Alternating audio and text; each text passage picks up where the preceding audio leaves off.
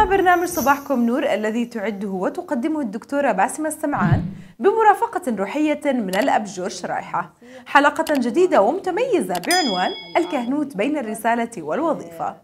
وقد أثر الحلقة الاتصالي مع الإرشمندريت نادر صووق كاهن رعية جبل عمان للروم الملكيين الكاثوليك. حيث قدمت له الدكتورة السمعان التهنئة بمناسبة الذكرى الثلاثين لرسامته الكهنوتية. وكذلك اتصال آخر مع البرنامج من الدكتور جلال فخوري الذي ميز كيف يكون الكاهن في علاقة فردية مع الله ومع كافة أفراد المجتمع. فإلى هنا. كلمة وظيفة في إلها مفهوم في إلها مفهوم كلمة وظيفة إلها مفهوم سلبي نعم. وإلها مفهوم إلها مفهوم إيجابي. هلا مفهومها الإيجابي اللي قلنا إنه الله خصص مش كل الدنيا كانوا 12 تلميذ. نعم. يعني هذول خصصهم وهم بلشوا. يعني في أساس انطلقوا منه. نعم. هاي الوظيفة اللي بنحكي عنها. ولكن أن لا تتحول رسالة الكهنوت إلى وظيفة. أنا بداوم من الثمانية للثنتين بعد الثنتين ممنوع حدا يدق اطفي موبايلي وبسكر على حالي. ممنوع حدا. أنا بداوم من هالقد لهالقد أنا معاشي هالقد بأخذه بقدم خدمة هالقد. نعم. زي أي وظيفة بالدنيا نعم. قد ما بياخذ معاش كل ما بيزيد معاشك بتزيد مهامك. إذا تحول الكهنوت من هذه الرسالة السامية رسالة يسوع المسيح إلى وظيفة بعتاش منها زي ما حكت أختنا قبل قليل إنه الكاهن من حقه ولكن أن لا يكون أحسن من الناس اللي عايش معاهم طبعا مثل ما تعرفوا إنه الكهنوت المسيحي منه مهنة آه، ليس مهنة ولا وظيفة بل هو خدمة روحية. نعم.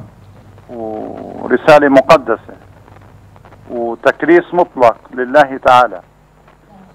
من هذا المنطلق إنه في آه، بعدين في حياة الكاهن.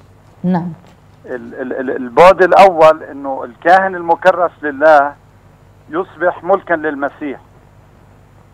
أي لا يعود يمتلك نفسه بل يمتلكه الرب يسوع المسيح الكاهن الأزلي. نعم. وبالتالي يصبح الكاهن مسيحا آخر. أي يصنع ما صنع السيد المسيح في حياته بانه كان يجول في المدن والقرى يصنع خيرا.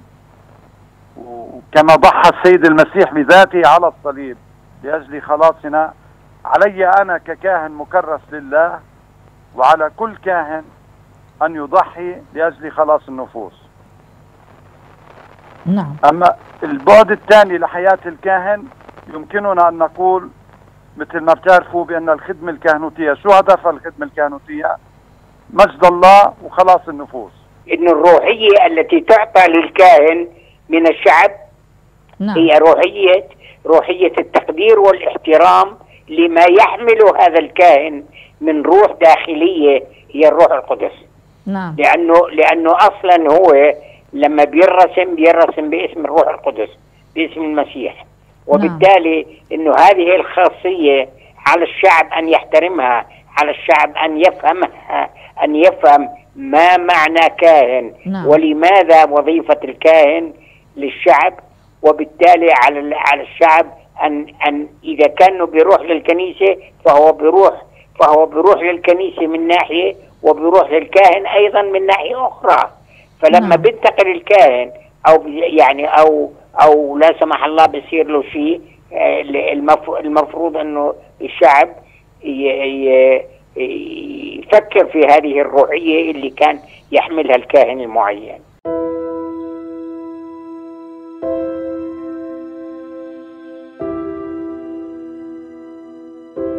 أنت ككاهن صاحب رسالة وأيضا أعطيت لك هذه الرسالة من علو.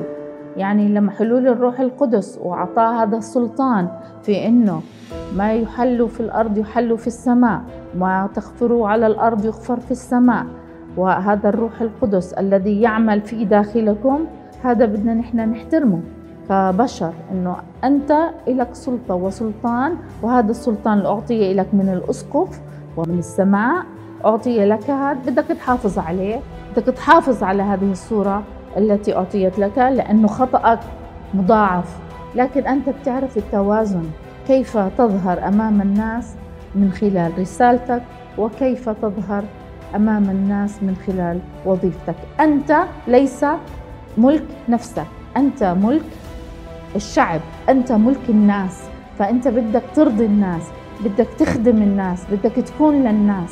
حتى لو أنت بتلاقي عملك سبب حجر عثرة أمام الناس. بدك تتخلى عن هذا العمل اللي بتقوم فيه على أساس أنه تكون أمام الناس بمنظور آه، يقدروا ويحترموا السر ويحترموا الروح القدس في فيك ككاهن.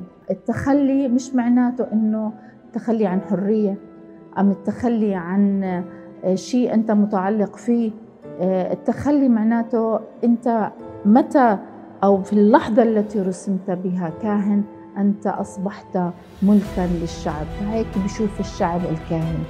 المتخلي عن ذاته المتخلي عن نفسه من أجل رعيته من أجل الناس المتألمة مثل ما ربنا مثل يسوع المسيح بذل نفسه وذاته على الصليب ومات من أجل الناس.